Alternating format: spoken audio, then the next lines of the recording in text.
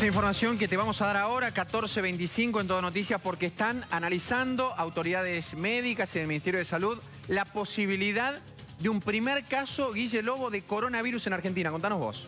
En estos momentos, las principales autoridades de salud de la República Argentina, de la Ciudad de Buenos Aires y Provincia de Buenos Aires están reunidos.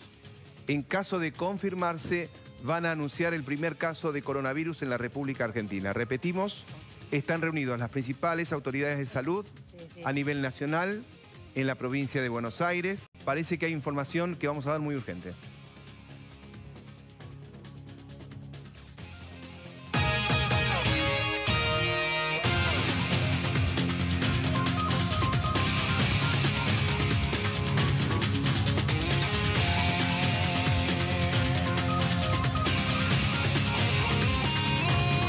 Sí, eh, oficialmente el Ministerio de Salud de la Nación acaba de confirmar el primer caso positivo de coronavirus en Argentina. Esto hace segundos nada más, así que ahora lo que veníamos hablando oficialmente, Guille, lo podemos confirmar, no porque lo digamos nosotros, el Ministerio de Salud oficialmente acaba de confirmar que hay un paciente en la Argentina con coronavirus.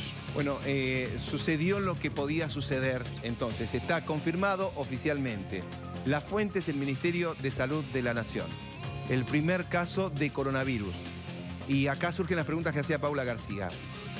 Eh, edad, historia clínica, ¿desde dónde vino?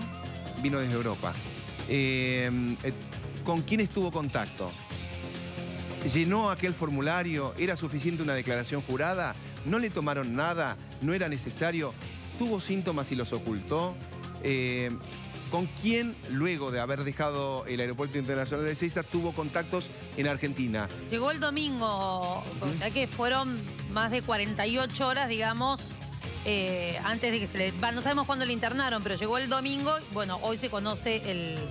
eh, se acaba de confirmar, así que algunas horas por lo menos de contacto con la familia y con la gente que estuvo en el aeropuerto, seguro. El protocolo indica que van a activar un sistema de trazabilidad.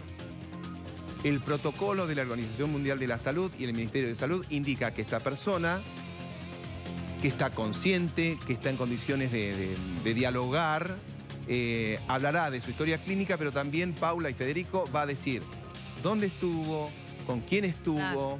Eh, y a esas personas también se la va a rastrear para tratar de contener y queremos saber si además de esta persona hay otros casos que estén en estudio o que se hayan reportado Claro. con síntomas de coronavirus.